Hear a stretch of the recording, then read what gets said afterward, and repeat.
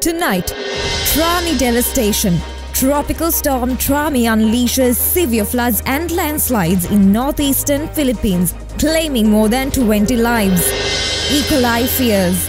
CDC investigates deadly bacteria outbreak tied to McDonald's as cases across the states are expected to grow. Middle Eastern conflict. Israel bombs historic Lebanese city as Blinken hints at new ideas for Gaza ceasefire. And robotic debut. Combining industrial arms with classical tunes, a robot cellist performs with symphony orchestra for the first time. All that and more as World News Tonight starts right now.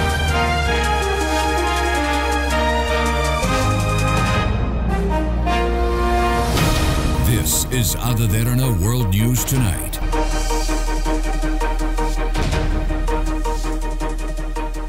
A very good evening and thank you for tuning into World News Tonight. I'm Nadi Balasuriya here to bring you the latest global headlines. We have several important stories to cover, starting with the latest updates in Philippines. Tropical storm Trami has killed at least 26 people and forced more than 150,000 to flee their homes as it made landfall on the Philippines' northeastern coast. The government shut down schools and offices except those urgently needed for disaster response for the second day on the entire main island of Luzon to protect millions of people after tropical storm Trami slammed into the country's northeastern province of Isabela after midnight. The storm known as Christine in the Philippines was blowing over Aguinaldo town in the mountain province of Ifugao after dawn with sustained winds up to 95 kilometers per hour and gusts up to 160 kilometers per hour. According to state forecasters, it was blowing westward and was on forecast to enter the South China Sea later on. Police and provincial officials said at least 24 people died, mostly due to drowning in the hard hit Bicol region and nearby Quezon province, but the toll was expected to rise as towns and villages isolated by flooding and roads blocked by landslides and toppled trees managed to send out reports. About 20 storms and typhoons batter the Philippines each year. In 2013, Typhoon Haiyan, one of the strongest recorded tropical cyclones in the world, left more than 7,000 people dead or missing and flattened entire villages. Over in Malaysia, 22 members of the global Ikhwan Services and Business Holdings, including its chief executive officer Nasruddin Ali, were formally charged in court for organized crime.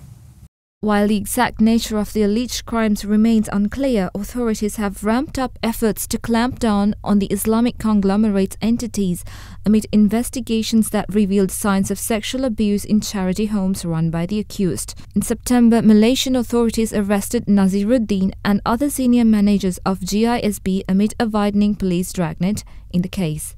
GISB, which police say is linked to a banned religious sect, has denied allegations of widespread abuse and other misconduct through Naziruddin acknowledged that one or two cases of sodomy had occurred. The suspects face up to 20 years in jail, each if found guilty. Police rescued more than 500 children from welfare homes linked to GISB last month. Some were believed to have been sodomized by their guardians, denied medical treatment, and physically abused. The case sparked outrage and calls for better child protection and monitoring of childcare centers.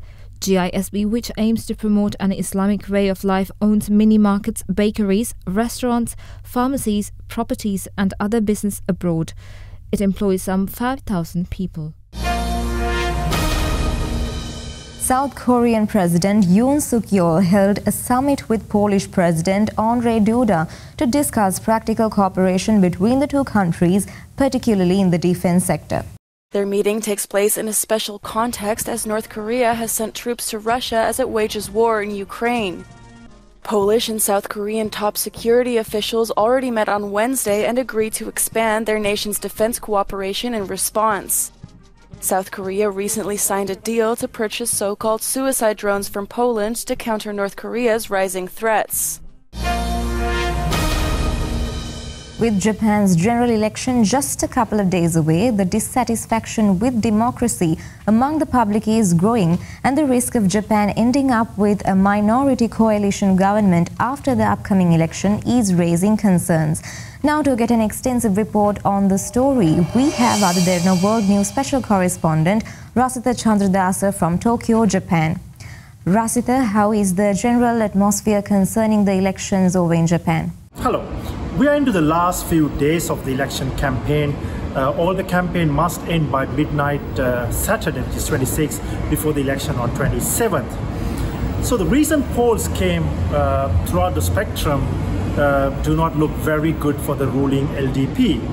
Uh, pretty much every opinion poll uh, put them like less than the majority they need to win the parliament, which is of course 233 seats because Japanese Diet has 465 seats overall. Even some of the worst case scenario put them uh, less than 200 seats.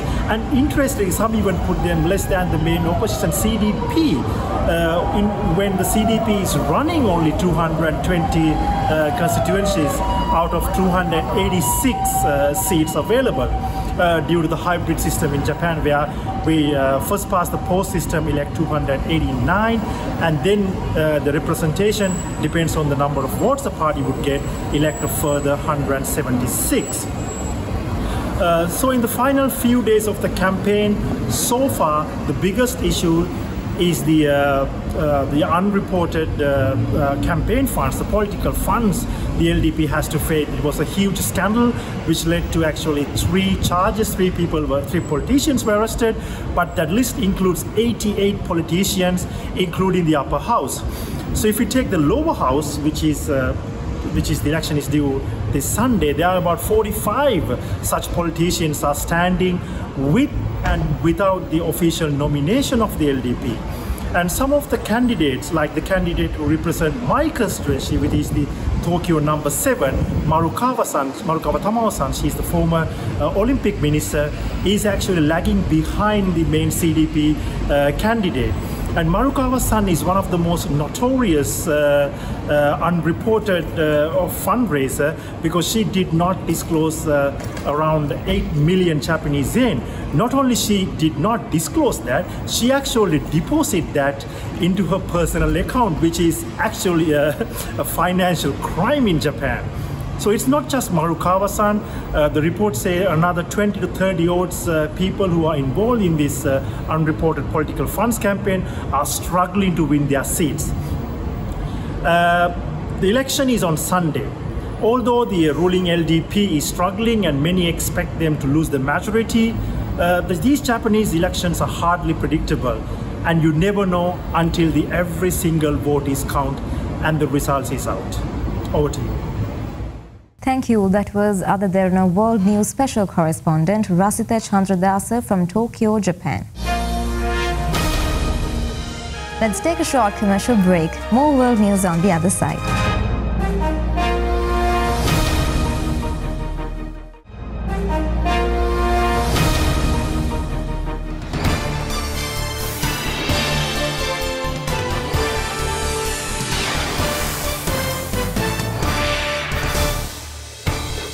On the road to the White House now, Democratic presidential nominee Kamala Harris has denounced Donald Trump as a fascist who wants unchecked power and a military personally loyal to him after allegations emerged about the former president's repeatedly voiced admiration for Adolf Hitler.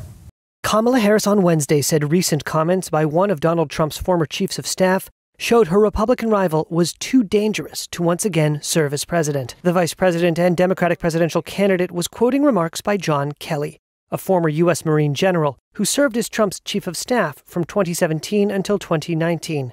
In an interview with the New York Times published on Tuesday, he told the newspaper that Trump meets the definition of a fascist and, quote, prefers the dictator approach to government. He said the former president would seek to rule like an authoritarian in a second term in office, and quoted Trump as having told him German Nazi dictator Adolf Hitler did some good things. A separate article in Atlantic magazine quoted Kelly recalling that as president, Trump had said he wanted subordinates that were like Adolf Hitler's generals. Trump's team denied the accounts. The latest Reuters Ipsos poll showed Harris with a marginal 46% to 43% lead nationally over the former president ahead of the November 5th contest. Democratic vice presidential candidate and Minnesota Governor Tim Walz cast his ballot early and spoke to reporters on Wednesday. Walz is among more than 23 million voters who have already cast ballots, either through in person early voting or by mail, according to tracking data from the Election Lab at the University of Florida.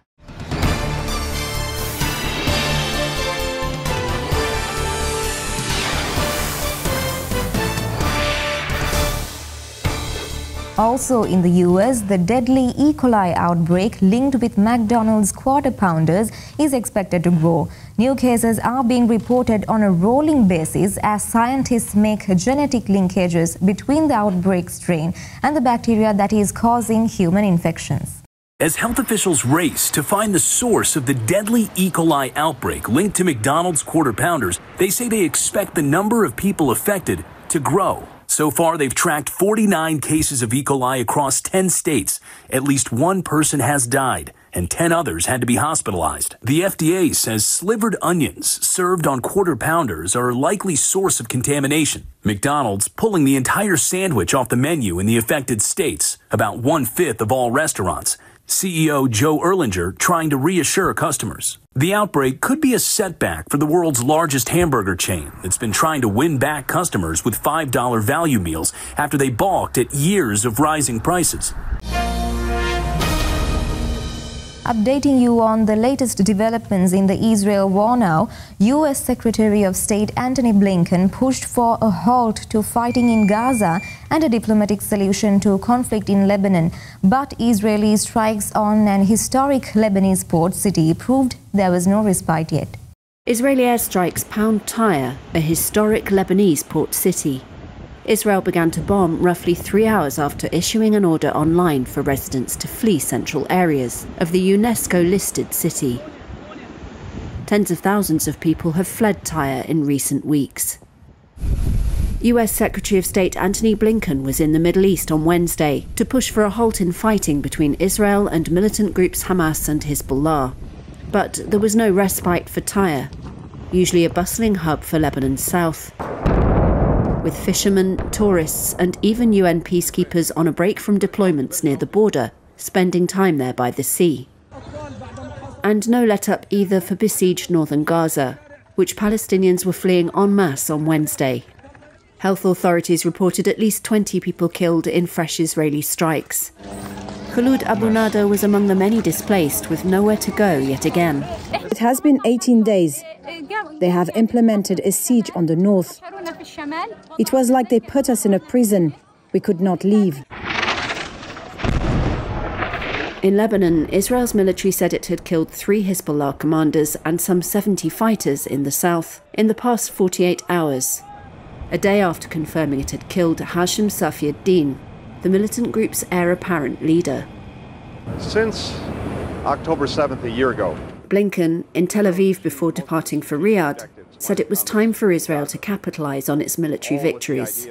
It's the last major US peace push before the November 5th presidential election, which could upend US policy in the region. This was Blinken's first Middle East trip since Israel killed Hamas leader Yahya Sinwar, a death Washington hoped could provide an impetus for peace. But Gaza residents say that since Sinwar's death, Israel has only intensified its assault on northern areas. Meanwhile, four people were killed and 14 others wounded in what the government called a terrorist attack at the Turkish aerospace industry's headquarters. Witnesses said they had heard gunfire and an explosion at the site near Ankara. CCTV video, confirmed by Reuters, showed armed attackers approaching the Turkish State Aviation Company building. The cause of the blast remains unclear. A state run news agency said prosecutors have launched an investigation. Turkish President Tayyip Erdogan, alongside Russia's Vladimir Putin at a BRICS conference in the Russian city of Kazan, condemned the attack and accepted Putin's condolences. NATO, the United States, and the European Union also condemned the attack. Turkish Aerospace Industries is the country's largest aerospace manufacturer, owned by the Turkish Armed Forces Foundation and government and employs more than 10,000 people. Let's take a short commercial break. More world news on the other side.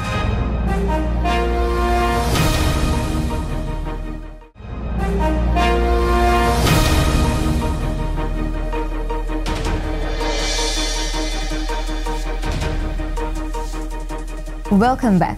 Moving over to New Zealand, emotional farewells are a common sight at airports, but travellers leaving the New Zealand city of Dunedin will have to be quick. The city's airport has imposed a three-minute limit on farewell hugs, sparking a worldwide debate.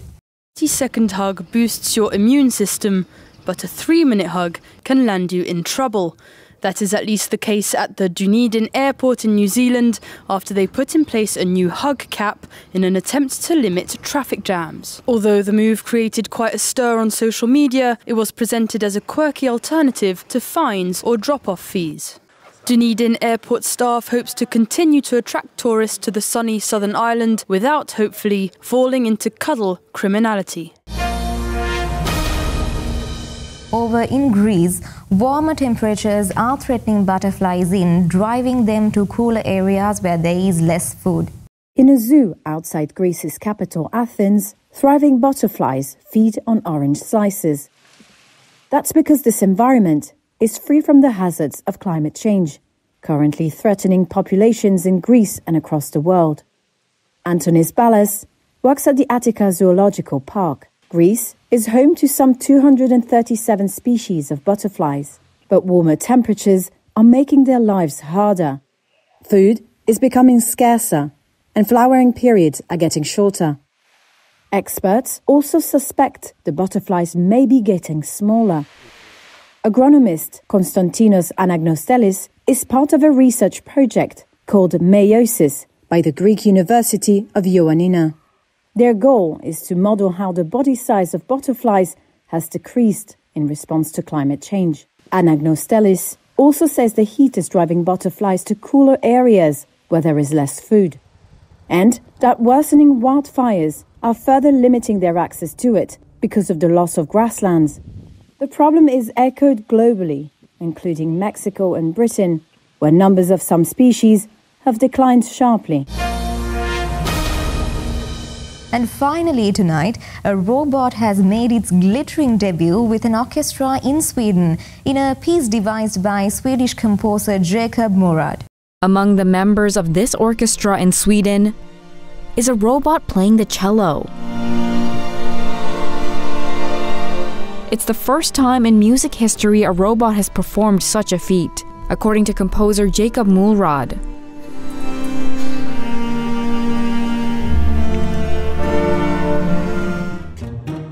Combining industrial robotic arms with 3D printed parts, the robot cello was designed and developed by researcher and composer Fredrik Gran. Mühlrad says it does not employ artificial intelligence, but was programmed by Gran using Mühlrad's musical score specially written for the robot. The robot played at Malmo Live Concert Hall alongside the Malmo Symphony Orchestra. As a composer, Mühlrad is known for blending classical music with modern influences. He said writing music for a robot helped him explore his creativity. Mühlrad said incorporating AI is something being considered for future projects. Despite the possibilities, he said he doesn't see a world where human musicians are replaced by bots. And that concludes today's bulletin. Join us again tomorrow for the latest updates from around the world. Stay tuned as Vinod Varnasurya is up next with the nightly business report. Thank you for watching and have a great night.